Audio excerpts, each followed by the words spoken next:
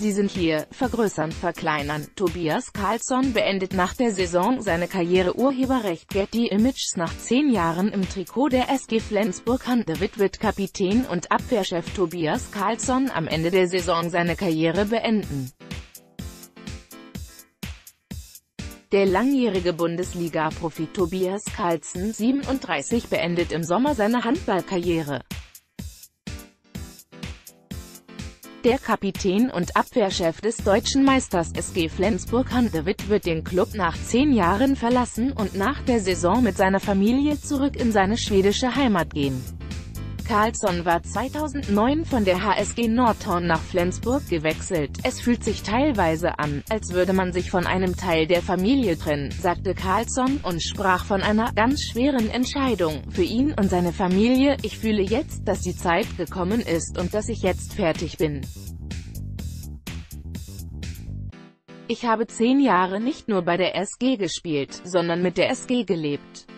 Er sei sehr froh, sehr dankbar für alles was ich mit der SG erleben durfte und immer noch darf.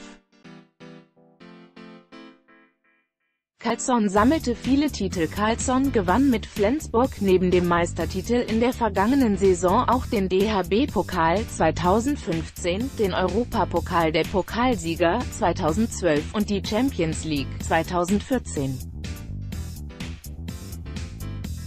Mit der schwedischen Nationalmannschaft holte der Abwehrspezialist 2012 in London die olympische Silbermedaille.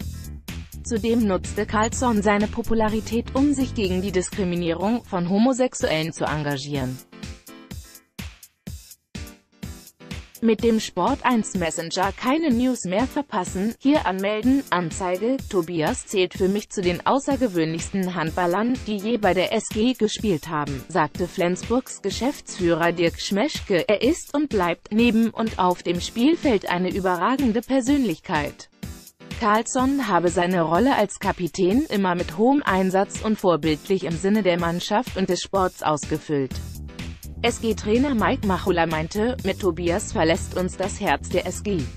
Ich habe größten Respekt vor seinen gezeigten Leistungen, seiner Karriere, der Art und Weise, wie er seinen Beruf lebt und wie er jeden Tag die SG verkörpert. Die Entscheidung komme für ihn nicht überraschend und trotzdem trifft sie mich sehr hart und löst sehr viele Emotionen in mir aus, sagte Machula. Ich persönlich verliere einen überragenden Kapitän, den beste Abwehrspieler der Welt und einen Freund.